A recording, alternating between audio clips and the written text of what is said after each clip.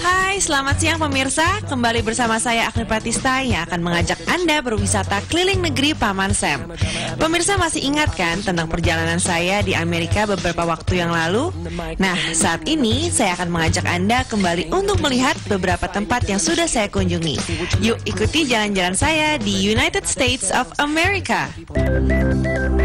Hai ho pemirsa, sekarang nih sedang berada di area Smithsonian, ngepengen keliling-keliling museum.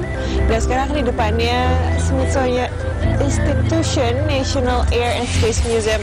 Katanya ini salah, uh, salah satu dari museum di Amerika yang paling sering dikunjungi sama anak-anak. Dan uh, selagi sekarang spring break, ini penuh banget. Jadi semoga kita masih bisa keliling-keliling dengan nyaman. Yuk, masuk!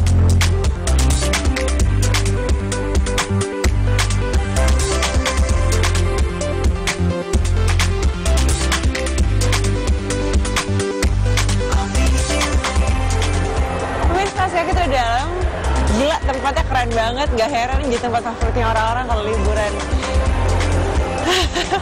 Sampai speechless. Nah pemirsa, museum yang terletak di Washington DC ini merupakan sebuah lembaga yang mempertahankan koleksi pesawat ruang angkasa yang bersejarah di dunia. Sekarang, museum ini berperan aktif dalam proses penelitian sejarah, ilmu pengetahuan, teknologi penerbangan, serta penerbangan antariksa.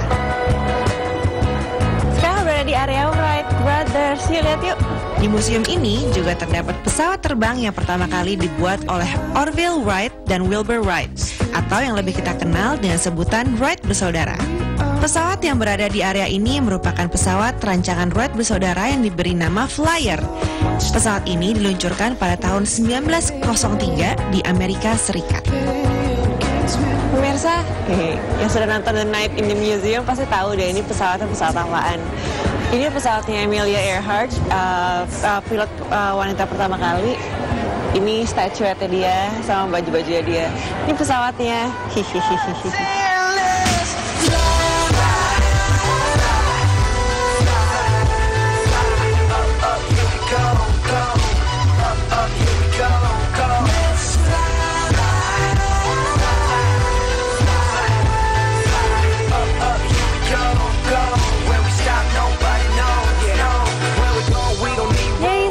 Berada di tempat khusus Sky Spice. Tempatnya keren banget, dikasih lihat kayak survival kit yang mereka dari zaman dulu kayak apa.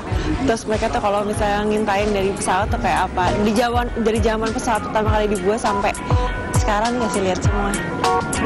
Keren banget.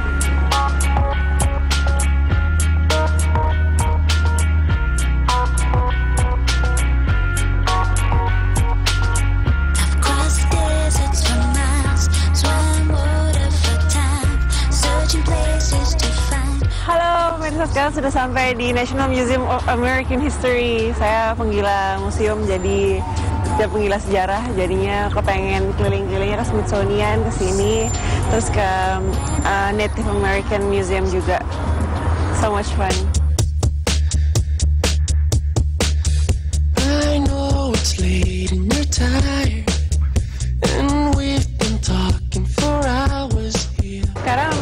Tempat yang sama, bedanya nih bagian memelnya. Bagus banget, coba lihat ya detail-detailnya ditaruh, bagus banget. I see that look in your eyes, and I know soon we'll say our goodbye. So yeah.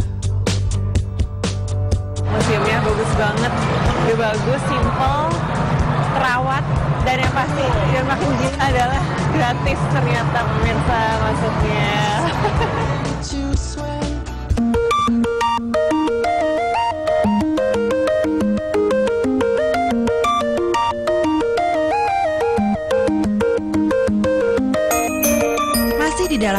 Smithsonian Institution, sekarang saya akan mengunjungi National Museum of American Indian.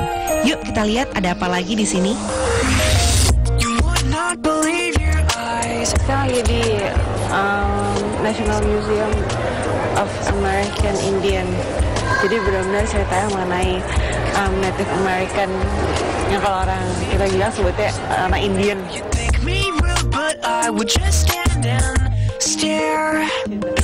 Cewek ini terbuat dari kayak biasa aja ya. Aku kira juga di chat ternyata waktu dideketin dari deket ternyata terbuat dari manik-manik kecil-kecil yang eh, sebagai contohnya tuh kayak manik-manik yang bisa dipakai eh, sama em, orang-orang Dayak Kalimantan.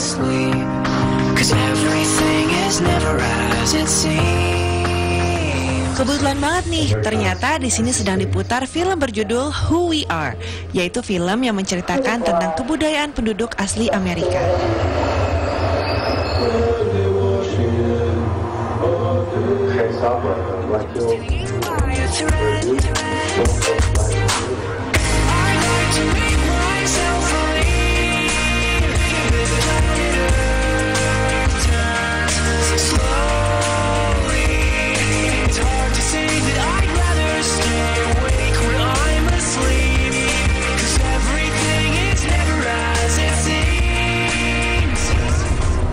I was born Abdul Rahman my father was Sori, king of Futajalon. Many years ago, on the west coast of Africa, I was saved by an African prince. You're saying my prince actually is an African prince? Ayohalahu, Al-Habib. Hai pemirsa, sekarang kami berada di Unity Production Foundation dan aku bersama Daniel yang kepengen tahu nih mereka tuh punya project-project yang keren banget dan salah satunya itu namanya My Fellow American. Nah, aku pengen tahu lebih banyak kan? Langsung nanya aja yuk. Hai Daniel. Hi, how are you? I'm good. How are you? Good. So, uh, we're curious here in Indonesia. I mean, like, what is My Fellow American? Yeah, it's a it's a project. It's a social media initiative we started about six months ago. We actually launched it on July 4th, which is a major American holiday. And what it seeks to do is kind of offer an opportunity for Americans of all faith backgrounds to learn a little bit about the religion of Islam. There's about 3 million American Muslims here in the United States, and over the last few years, particularly since 9-11, there's been a great deal of misunderstanding about the religion of Islam. So we started this initiative, called it My Fellow American, which comes from John F. Kennedy, the president, uh, speech. So that's actually our mission, is to tell authentic stories about Muslims living in the United States. Pemirsa, tadi udah kita bincang-bincang dengan Daniel tentang apa sih My Fellow American itu inspiring banget ya, gila. Dan emang orang Amerika banyak banget yang kepengen melakukan perubahan dan dimulai dari sesuatu yang kecil. Bisa banget kita contoh tuh pemirsa. Yaudah kalau gitu, kita selesai bincang-bincangnya, jalan-jalan lagi yuk.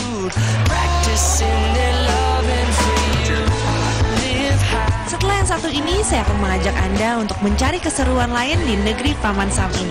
Jangan ke mana-mana ya.